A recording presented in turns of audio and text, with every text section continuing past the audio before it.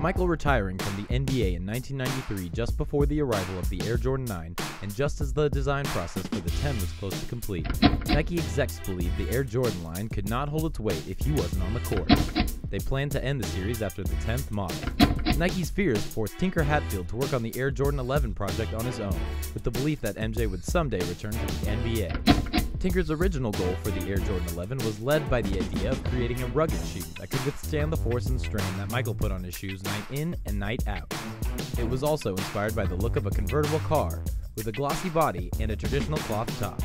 Michael had been specifically asking for a shiny shoe for a while.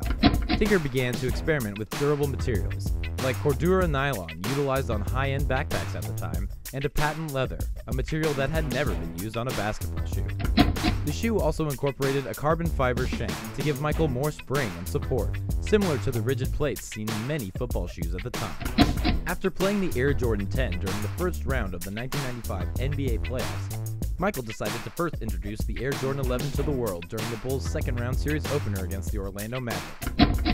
Then sideline reporter Ahmad Rashad, who considered Mike his main man, was the first to notice the shiny Air Jordan 11 and showcased the patent leather kicks on live television during a courtside segment with the entire world watching. Michael was fined for rocking the original black-white Air Jordan 11s on the court, as he didn't match the rest of the Bulls team's black-based shoes. He'd wear them again for game two, which even more notably was the game that he ditched the number 45 jersey for good and returned to number 23.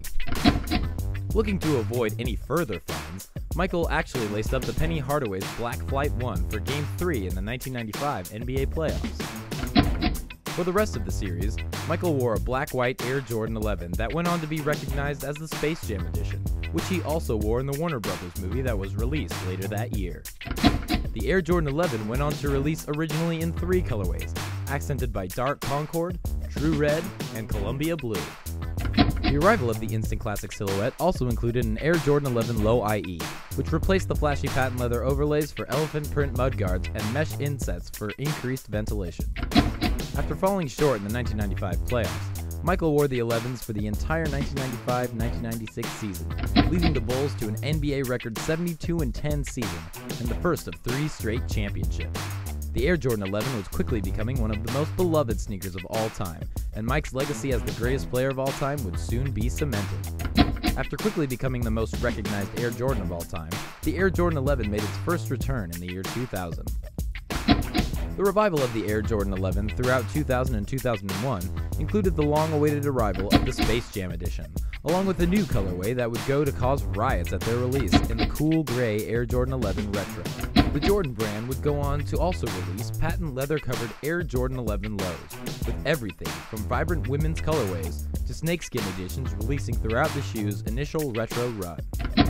The first run of patent leather Air Jordan 11 lows also included a Zen Gray colorway that was exclusive to Nike Town locations nationwide. Following up the arrival of the Air Jordan 11 low in patent leather for the first time, the Jordan brand went back to its roots in 2003 with the retro release of the original Air Jordan 11 lows in the two original colorways we first saw back in 1996. Fast forward to 2006, the Jordan brand celebrated Michael's greatness and career milestones with a Defining Moments package, a two shoe pack that included the white black metallic gold Air Jordan 11 alongside the Air Jordan 6.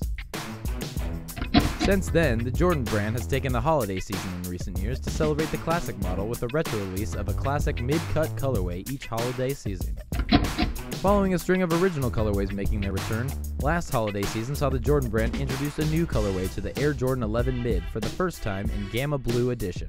We've also seen both old and new colorways for the Air Jordan 11 Low, including the recently released Concord Edition, first worn by Michael during the Bulls' 1996 NBA Championship celebration parade. Looking towards the future, the Air Jordan 11 will look to remain the most iconic Air Jordan of all time, with a number of both old and new looks expected to release throughout 2014 and beyond.